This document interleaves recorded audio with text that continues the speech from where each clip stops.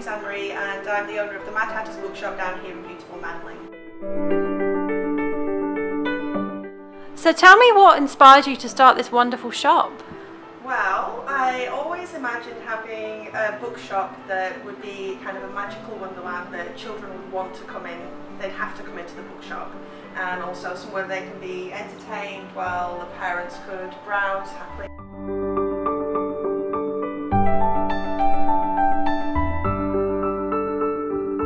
So you mentioned you started Mad Hatters to promote children's love of reading. How are you pursuing that?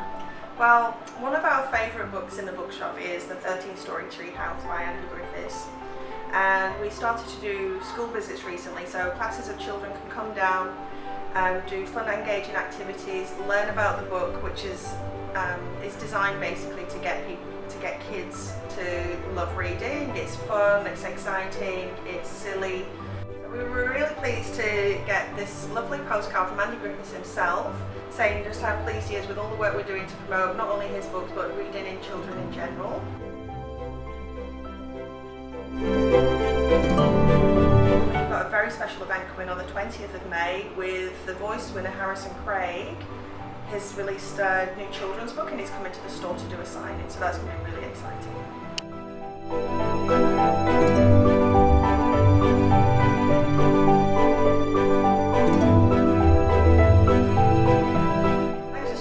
I will look forward to seeing you next time you're in the area.